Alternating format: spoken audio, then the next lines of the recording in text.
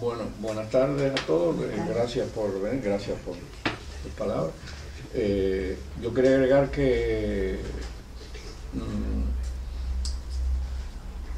a, la, lista de obras que han mencionado en las que yo he trabajado mm, está el tintoreto que he hecho con, con Gabriel Rossi, el coreano que está aquí, que eh, hoy esta tarde acompañándonos, que es uno de los últimos de los últimos trabajos de escenografía y vestuario que he hecho. A mí el tema de Narciso me interesaba y me ha interesado siempre. De hecho, había trabajado un poco sobre eh, la poquísima documentación que hay sobre el Narciso de los ballets rusos con coreografía de fuego, del que, eh, como, como, pasa con algunas obras de los ballets rusos, algunas se hablan, de ellas se ha hablado muchísimo y de otras que, que, que, al olfato del investigador pueden ser tan importantes como esas sobre las que se habla mucho, se ha hablado muy poco y la propia historiografía del ballet ha pasado por encima. El caso del Narcissus, mm, con el caso del Narcissus pasa un poco eso. De hecho, cuando se revisan las memorias de Foquín recogidas por Cyril Beaumont, la edición buena, digamos, la edición que se hace eh, con Foquín en vida, consultando a Foquín antes de que Foquín muera en el año 45. Eh, en esa edición, que es de exactamente de 1940, Foquín se queja de la indiferencia que eh, la historia del ballet moderno ha, tenido con el Narciso, que él consideraba una obra suya muy importante. Em, yo me acerqué al Narciso por primera vez así. Mm, y luego es un tema que, como digo, me ha interesado mucho desde el punto de vista de la plástica, con todas las referencias que ha tenido en la pintura, en, la pintura eh, neoclásica durante el final del 700, luego en el romanticismo, luego los prerrafaelitas también volvieron sobre el tema de Narciso. Y, eh, y, y obviamente en la literatura, donde hay una serie de poemas muy importantes, casi todos partiendo de eh, las exactamente de la tercera metamorfosis de Ovidio, mm, que es justamente la fuente principal de la muerte de Narciso de Samalín, del poema de Samalín. Es muy evidente cuando leemos atentamente la muerte de Narciso de Lezama que, que él tenía una lectura reciente de las metamorfosis de Ovidio. Es muy evidente tal como es evidente en el poema de Paul Valéry, de que también había tenido una lectura muy reciente de la Metamorfosis de Ovidio. Eh, un día yo me encuentro eh, todo lo que es relativo al ballet cubano, siempre y sobre todo si es relativo a la persona de Alicia Alonso, me interesa muchísimo. Me encuentro de que ha coreografiado el Narciso. Y encuentro una fotografía del primero del bailarín que estrenó esta versión de Narciso. Yo tenía una idea de que Narciso había estado en la historia de Alicia y del Ballet de Cuba, pero tenía una idea francamente vaga y lejana. Y bueno, mira, Narciso en el Ballet de Cuba. Y se lo digo a Maida Bustamante. Y, y Maida me da la sorpresa de rescatarme la grabación del estreno mundial de la obra. ¿Cuál no sería mi sorpresa de que la música es de Julián Orbón, que es uno de mis músicos de cabecera, que lamentablemente oigo muy poco? Me da mucho apuro hablar de, en términos musicológicos, y estando aquí la maestra Herrera, me da muchísima vergüenza. Yo estoy aprendiendo. ¿Eh? Estoy aprendiendo. Me da mucha vergüenza, pero claro, para mí Orbón es uno de los grandísimos músicos cubanos, de los grandísimos. Todo lo que oigo de Orbón, cada vez que oigo una pieza nueva de Orbón es un descubrimiento en positivo y me gusta más que la anterior. De hecho, de hecho, las danzas sinfónicas, las piezas sinfónicas de donde Alicia escoge estos fragmentos eran, eran unas obras que yo conocía y que eh, eh, luego reencontré espléndidamente grabadas por la Orquesta Sinfónica de Asturias. Es, cuando reencuentro esta obra. Y esta es justamente la obra que Alicia selecciona para, eh, para, para, este solo de nueve minutos de duración, contando la obertura. la primera impresión que tuve, y esto lo volqué en el ensayo, es que esa pregunta socorrida que me viene pocas veces al vocabulario del crítico, pero cómo esta música y esta coreografía no se encontraron antes, que es una cosa que sucede cuando se provoca una imbricación perfecta entre los pasos y la música. Porque justamente ayer hablaba con Alicia, con Desto, eh, eh, se trata de colocar, atendiendo a todo rigor estético, los pasos en la música, no como cierta coreografía que erróneamente mete la música en los pasos. Son cosas absolutamente distintas. Es decir, hay un elemento dominante que es lo que aporta la música en el arte coreográfico. Es decir, esa música, esa, esa música en cierto sentido ejerce un dominio rítmico, sonoro, ambiental, de tiempo, que es muy importante y que es lo que va a, dar, a crear el corpus sobre los elementos de baile, sobre los elementos coreográficos. Cuando esas dos cosas se fusionan a la perfección, sucede lo que sucede con el solo de Narciso, que te preguntas cómo esta música no se encontró antes con estos pasos. Eso sucede cuando vemos el adagio del segundo acto del Lago de los Cisnes, con la coreografía de Ivanov que mira que luego hay versiones modernas y espurias, algunas mejores que otras, o hay de todo, pero sin embargo yo tengo que esforzarme para ver lo que estoy viendo en el escenario y no lo que yo tengo registrado como la verdadera coreografía que habita esa música. Eso sucede con el adagio del segundo acto del Lago de los y sucede con algunos otros grandes fragmentos clásicos, no con todos, evidentemente. Y mi descubrimiento con la grabación esa de esa coreografía fue de, dos, fue de dos cosas. Primera, que inmediatamente entendí que esa coreografía estaba hecha por Alicia. Era una idea de Alicia. Al principio, naturalmente, desconfías, y esto es una cosa que también la, digo claramente en el ensayo, porque Alicia es una persona invidente, con muchos años y con una serie de discapacidades motoras que pueden pensar que la coreografía está dirigida pero no hecha por ella, no pensada por ella. Al tiempo de esto me encuentro un ensayo de William Forsythe, el más importante de los coreógrafos de nuestro tiempo, de ballet contemporáneo, donde dice que está muy intrigado por la coreografía mental, por la capacidad de concebir un espacio y movimiento en ese espacio,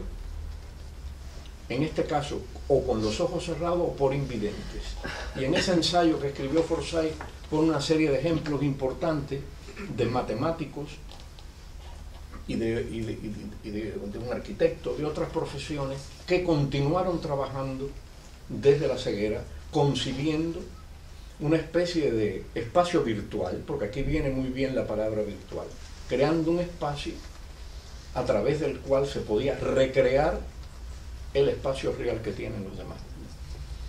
Esto mm, me, llevó a empezar a desglosar la coreografía, a ver la relación que había con el poema, que a veces es literal, hay elementos trasladados al lenguaje coreográfico y balletístico que parten directamente de algunos versos del poema. Esto es una cosa sobre la que trabajé muchísimo. Y eh, Luego, por las dimensiones del ensayo, no pude ahondar demasiado en la música, pero evidentemente esta es uno de los momentos más brillantes de la música de Orbón, donde en Orbón se siente eh, la presencia de dos músicos, se siente la presencia de Stravinsky y se siente la presencia de Copland. Y es que él ha estado por allí, es decir, él compone estas músicas después de su periodo, casi ligado a su periodo americano periodo de estancia en Norteamérica. Y hay una serie de, digamos, de, perfumes interiores en esa música que eh, recuerdan eh, de una manera muy hermosa y yo creo que en cierto sentido homenajean tanto a Copland como a Stravinsky, personas que le protegieron, que le protegieron en los Estados Unidos y que le ayudaron. Em, la coreografía de Narciso de Alicia a mí me intrigaba, porque al mismo tiempo que veía la coreografía empezaba a ver historia del ballet del siglo XX, empezaba a ver toda una serie de guiños y de, y, de, de, mecánica en, la virtuosística, del, porque es un ballet muy difícil, ya, ya, ya lo veremos, es un solo muy corto pero muy difícil. Y entonces empecé a trabajar con los bailarines que habían estado cerca de Alicia, que a la vez habían enfrentado tanto el personaje de Narciso como otros personajes neoclásicos, entre ellos el de Apolo. Y me di cuenta que lo que Alicia estaba haciendo con este solo era reuniendo su memoria del ideal apolíneo del ballet, del bailarín, cuando en, el lenguaje del ballet, del ballet académico interpreta un solo de tema mitológico. Es una especie de síntesis de su memoria sobre una serie de bailarines que trabajaron con ella. Y eso le llevó a Alicia a hacerme uno de los elogios más bonitos y sinceros que me ha hecho a mí una persona del mundo del ballet. Modestamente debo decir que me han hecho mucho. Y es que Alicia me dijo, oiga, usted me ha visto los refajos. Cuando me dijo eso, yo dije, bueno, el trabajo está hecho, no, no me he equivocado. Porque es una cosa muy sincera y es lo que yo quería que me dijera. Porque en realidad el trabajo lo que persigue eso es ahondar en, la, en, la, esencia, pero precisamente no, quedarme en la superficie. Por otra parte, eh, yo agradezco mucho que Liu ha dicho una cosa que me parece importante, que, el ensayo es legible no solamente para los entendidos del mundo del ballet, porque eso no tiene ningún sentido.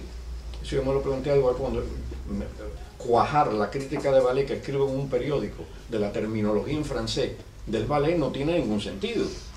¿Por qué? Porque estamos, estamos trabajando y estamos escribiendo y redactando para un lector más amplio. En el ensayo me lo planteé también así.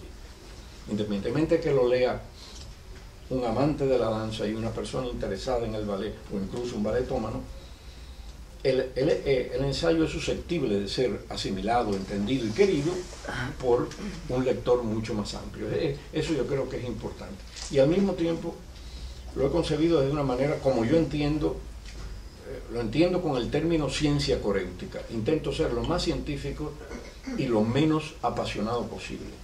¿Por qué? Porque a medida que se, que se mete pasión y entusiasmo, se pierde rigor científico. Eso pasa con todo hay que, tener hay que mantener una cierta distancia y una cierta frialdad en la interpretación. Eh, la otra cosa importante es que mm, acercándome al, ballet, ya cuando se me hizo el encargo de que diseñara el vestuario y los telones, entendí lo que Alicia quería.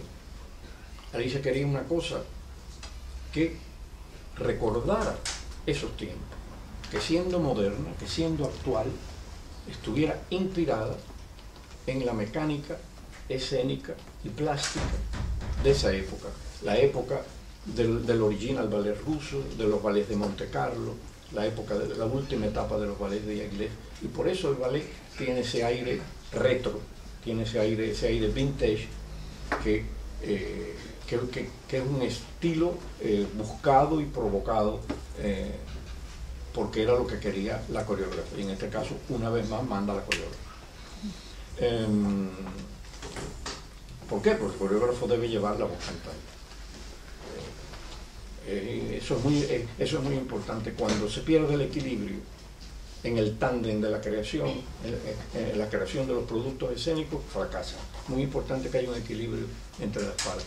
Pero la égida debe ser naturalmente la idea, la estética la idea estética dominante es, la que pone el coreógrafo. Mm, hay una cosa más que, que, yo, quería decir respecto a la coreografía, y es eh,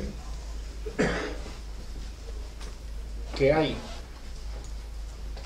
un discurso también extraído de la tradición académica, es decir, va de menos a más va de la variación a la coda. Y eso está, en eso está muy bien aprovechada la música también. hay, hay, uh, hay casi, casi, casi una estructura, me atrevería a decir, clásica, de presentación del personaje, desarrollo y luego una coda que lleva al final de la pieza, a ese sorprendente final que tiene la pieza. Eso, eso solamente se puede hacer desde la cultura coréutica que tiene una señora como Alicia Alonso, de la experiencia, de la experiencia. Eh, y claro, ahí están contenidos probablemente todos esos personajes neoclásicos, todos esos faunos, narcisos, apolos, que pasaron por su carrera y que fueron figuras contemporáneas. Mientras ella era la ninfa, al lado tenía un Apolo, evidentemente. Entonces, eh, luego Simón me pone un email con una gran sorpresa y es que aparece por fin el primer Narciso del ballet de Cuba. Y es que Alicia en el año 1955 había estrenado en un pueblo de Pinal del Río Eco y Narciso. Grandes discusiones sobre la música, de eso hablará Pedro. Si la música era de Ravel, que si era de Debussy, hasta que apareció una crónica en un periódico, pero hubo sus más y sus menos. Eh, con sobre quién era la música de la primera versión de Eco y Narciso. En esta segunda versión, Alicia, en un, ejercicio de síntesis también difícil de hacer, elimina a la ninfa Eco, eh, elimina el cuerpo de baile y lo, concentra todo en la figura protagónica del Narciso. Pero claro, la ninfa Eco tiene que estar presente en la roca. Y por eso en la escenografía aparece la roca donde reposa Narciso, ahí está eh, dibujada la ninfa Eco. En la primera versión Alicia Alonso usó el material, un material que era novedoso para la época, que era el celofán, el plástico, en el año 1955. Y, eh, y con el celofán se hicieron las pelucas de las bailarinas y se simulaba el río donde se miraba. Y eh, Alicia quería que esa idea del río y de la corriente de agua estuviera. Entonces, eh, también esto lo he respetado. Yo no he usado el celofán, he usado un material de hoy día. Como los demonios y los diablos del teatro existen siempre, en el vídeo del estreno, del, que, vamos a ver que es del estreno en La Habana, el dichoso material tecnológico que sustituía al celofán de la versión original no aparece porque no bajó a tiempo. Entonces el ballet se acaba sin que aparezca el dichoso material. Pero pasó en, en, Roma también. en, Nápoles, perdón, que se presentó en Nápoles en Nápoles. Hay, y tampoco bajó. que yo no sé si es que esa tela resulta que no. Hay, cosas que en, en, Nápoles, a pesar de que lo ensayamos con la música, lo milimetramos con los técnicos y todo, la tela tampoco bajó. Falló lo mismo que falló en La Habana. Exactamente lo mismo que falló en La Habana, volvió a fallar en el Teatro San Carlos de Nápoles un mes después. Y digo, bueno, algo pasa con la dichosa tela que no baja. Entonces yo he tomado una decisión. pero lo conseguiremos. Yo, yo, yo, yo, he tomado una decisión que es lo que le voy a proponer a Alicia, que es que la tela no se mueva vamos a dejar la tela en un sitio fija para que la tela esté allí todo el tiempo y así la tela no se puede escapar ni desaparecer. Eh, esto es a grandes rasgos lo que yo quiero decir, pero quiero agregar una cosa más, porque mm, también tiene que haber una educación sentimental sobre el ballet, y yo la tengo. Eh, a, mí hace unos años una, una señora de la Universidad de Bolonia, del Instituto de Estética, me preguntó que si yo no había bailado nunca, si yo solamente lo que había era estudiado piano. Y cómo me había acercado al ballet. Yo digo, bueno, a mí me acercaron al ballet de pequeño porque me sentaron en una butaca a ver bailar a Alicia Entonces, eh, naturalmente, que con algunos personajes, con algunas cosas, y ayer hablábamos de eso también, por ejemplo, con con la entrada de su Suanilda en Copelia o la coda en el, propio Copelia en el tercer acto, hay ciertas cosas que, que tengo una referencia clara que es ella, que es no solamente, no, no, no solamente la técnica, sino su facultad artística, cómo convertía aquello que era técnicamente puedo, me atrevo a usar la palabra casi perfecto, o muchas veces perfecto, cómo lo convertía en una cosa artística que se me ha hecho insustituible. y que, me ha creado un modelo. Eh, y esto mm, es una cosa que, que, me pasa con Alicia, con algunos, con, algunos personajes, también me pasa con Carla Fracci, me pasa con Maya Pichesca, y ahora me está pasando con Uliana Lopatkin, que yo la considero actualmente la mejor bailarina del mundo. ¿Qué pasa? Que surgen en la historia figuras así aisladamente que lo marcan, que lo marcan. Yo estoy seguro que tiene que haber un niño hoy viendo a Juliana Lopáquina que le va a pasar lo que me pasó a mí con Alicia Alonso. Porque eso es un proceso, precisamente eso es lo mágico que tiene el teatro, que tiene el ballet, que eso es una cosa que se repite y que no se detiene. Una, una preguntita que quería añadir que me gustaría con respecto al libro destacar, y es que el libro tiene un apéndice muy jugoso donde hay poemas muy, muy interesantes acerca del mito de Narciso, no solamente el poema de Lezamalima que está reproducido en el apéndice del libro, sino también de poemas de, William Shakespeare, de Lope de Vega, de Calderón. Entonces me gustaría mm. brevemente y uno, contaras, y uno de Roger, por supuesto, que nos contaras un poco por qué al final del libro decides poner ese broche de oro yéndote a la literatura y a la lírica del siglo de oro español o del siglo o del teatro isabelino. Es que eh, muchos de los poemas yo los conocía ya, los había leído y mm, en realidad tengo que decir que puse mi poema porque me insistió Simón que lo pusiera. Yo no quería poner el poema, me parecía incluso una petulancia, pero si hay un poema, si hay un poema de Lesama Lima, de Valerí, mm, de Lope de Vega y de Sor Juan Inés de la Cruz, pues yo no pinto demasiado con poema mío. es quizá una cosa demasiado pretenciosa. Pero en realidad yo había estado escribiendo este poema desde hace 10 años, es un poema largo, y eh, Pedro me dijo, no dejes de poner el poema, me convenció y lo he puesto. La idea de los poemas es porque el verdadero ballet contiene la poesía. Eso es, eso es, eso es, digamos, eh, eh, casi un axioma. ¿Y qué pasa?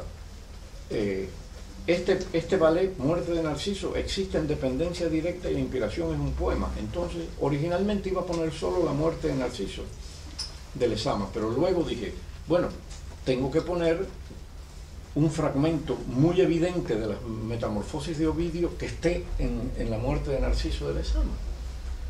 Y por ahí me animé, encontré una traducción del poema de Narciso de Paul Valéry hecha por Cintio Vitier hecha también por un gran poeta cubano. Y dije, ah, caray, este no se me escapa. Y entonces agregué el poema de Paul Valéry y luego empecé a buscar ya en el siglo de oro español y en algunos antecedentes y otros posteriores a lo que, lo que llamamos el siglo de oro, y me encontré cosas extraordinarias.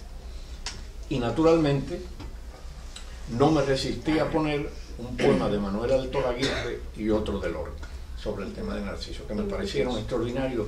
Y que, y que si se lee con atención esa pequeña antología sobre el tema de Narciso, todos, todos están relacionados entre sí, todos están relacionados entre sí. Y cuando se ve el ballet, si se quiere, el ballet se, o, otra cosa que me parece extraordinario de esta coreografía es que este ballet se puede acompañar tanto de la muerte de Narciso como del verso de Sor Juan Inés de la Cruz sobre el niño que se mira en el espejo. Es, eso me parece quizás, quizás, quizás la cosa más genial de esta coreografía. El hecho de que consigue universalidad con respecto a esa gran poesía. ¿Eso, te responde? Por supuesto, muchas gracias.